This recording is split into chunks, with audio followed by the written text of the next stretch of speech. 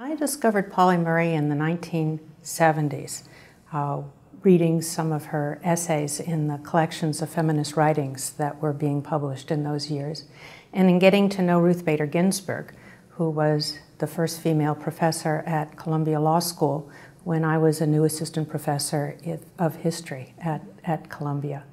And being interested in the 14th Amendment, uh, I learned from Ruth Bader Ginsburg the importance of Pauli Murray to extending the rights of women uh, through her own work.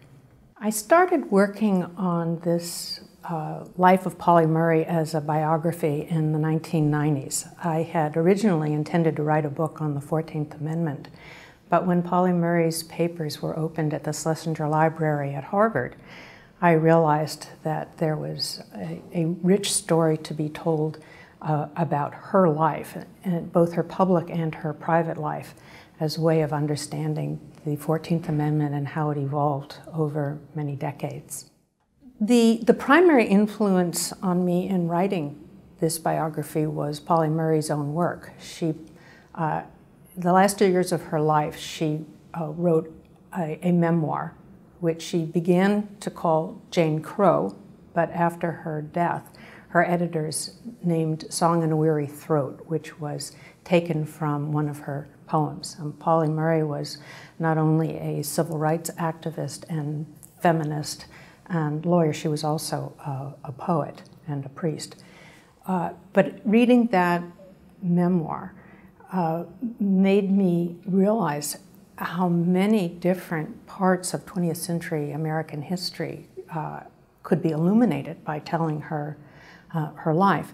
But I also believed that there were parts of her life she was not touching at all because the, the memoir, wonderful as it is, is, is not as deeply reflective as the first family history that she wrote back in the 1950s, uh, principally about her, her grandparents there was something that she was hiding. And it wasn't until I uh, got deep into her papers that I realized that what she was hiding were her personal struggles, her private struggles over gender identity.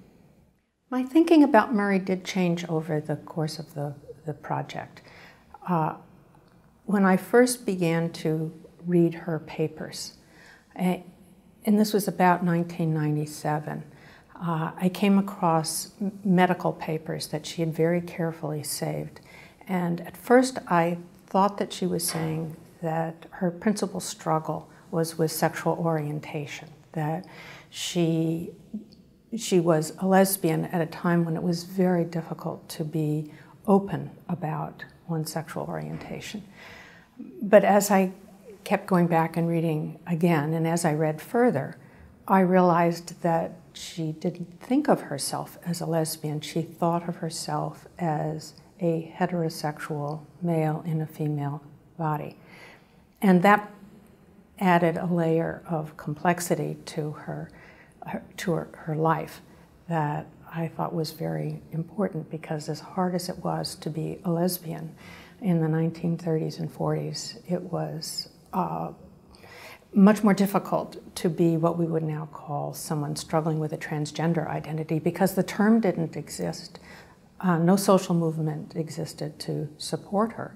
The, the most that she could look to was the writings on sex, sexology that uh, were printed in the early part of the 20th century, and her favorite author was Havelock Ellis, who argued that there were some people who were pseudo-hermaphrodites, people who had the external characteristics of one sex but the internal characteristics of another. And she was convinced that that was who, who she was.